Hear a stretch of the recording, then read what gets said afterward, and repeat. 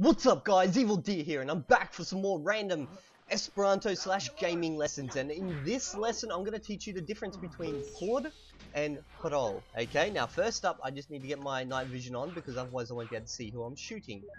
Just like the good Esperantist I am. So first up, for when I first learned these words, what I did is I learned the difference, not really like between them because it's kind of hard at first, but what I did is I kind of learned the particular meaning of one of them, and then that kind of just helped me get both of them um, down pat. So, first up, I pretty much say that por is used in every situation where you'd say for in English, except for the following exclusion. If you're ever going to say on account of, then I would say pro. And when I say account of, I mean um, when you're going to say for, but it's like on account of something. Uh, you know, that's kind of its subtle underlining meaning.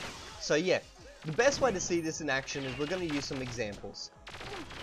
So let's say um, for, for the word por, okay, that is generally used in Esperanto when you're talking about something that's um, destined for something, something that's aimed for something, or even on some occasions on behalf of and also talking about time and stuff like that.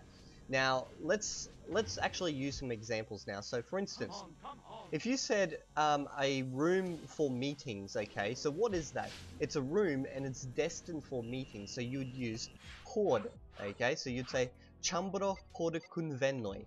You would never say ĉambro pro kunvenoj because that would actually be saying a room that's on account of meetings, like on account of meetings. You know, it doesn't really have much meaning, I guess. Maybe there is in some context, but none that I can think of. So, that's one where, where you could also, uh, where you'd use por.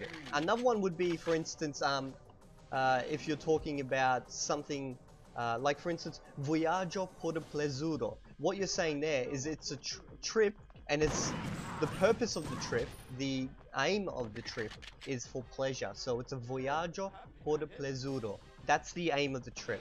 Oh, hello. How are you? I just randomly take you out. Ooh, I want your shotgun. Oh, yeah, come on. No, wrong button. Yes, I have it. Okay, another one is when you'd be talking about money. So if you'd say, um, uh, for $3 that would cost, you'd say, for instance, por $3 tio kostus blah blah blah blah. Okay, so that, oh, okay, so that's why I'm gonna go into this elevator. So that's when you'd also use por. Another one might be um, when referring to yourself or another. So you could say, um, mi faris tion por ŝi. I did that for her, okay? But you could also use pro there, because pro means on account of. So you could say mi faris tion pro ŝi, but there's a slight difference in actual meaning there. And it depends on the nuance you're trying to give. So mi faris tion por ŝi means I did that um, for her, okay? So um, my aim was for her. But if you said mi faris tion pro ŝi, what you're saying there is I did that on account of her. Not necessarily for her, but on account of her. So that's the difference there. You can kind of see it in the nuance. Uh, let me, I accidentally put away my shotgun. Give me a sec. Oh, hello! Didn't see you girls. Uh, uh, uh, take that. Take that. Oh, that was brutal. That was really brutal of me.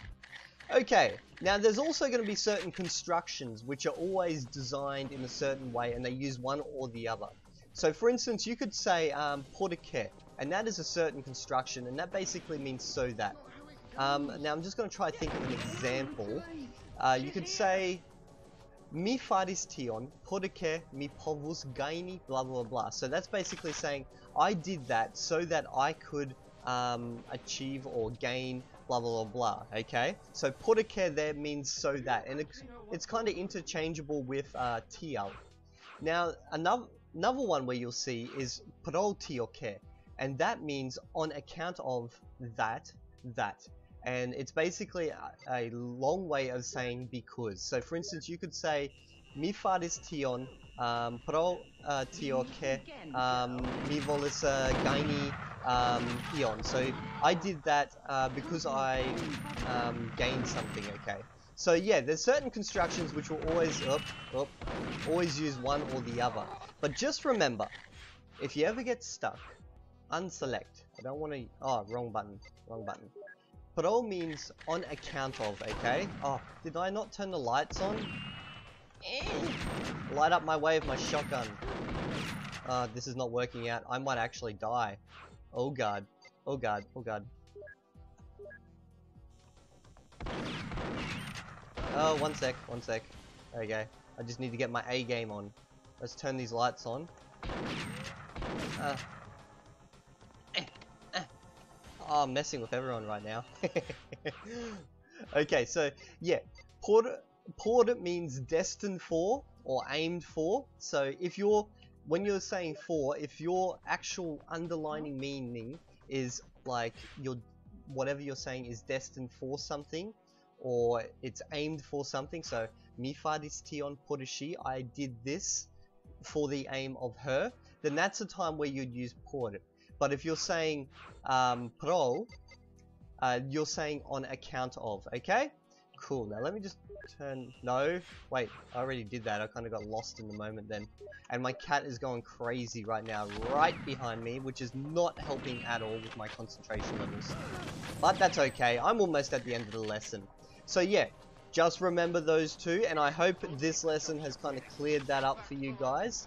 So if you've liked this video, give it a like, share it around with your friends, subscribe to my channel if you haven't already, and I'll see you in the next video. And if you're not there, well, I will find you, and I'll throw my frigging cat at you, which is climbing up the wall right beside me right now.